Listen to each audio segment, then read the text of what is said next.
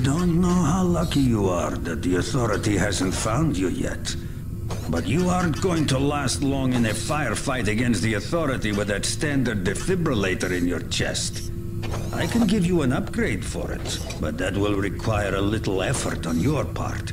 You see, I don't have the necessary equipment here. But you can find what you need in the Dead City. A well-named place, as you will soon see.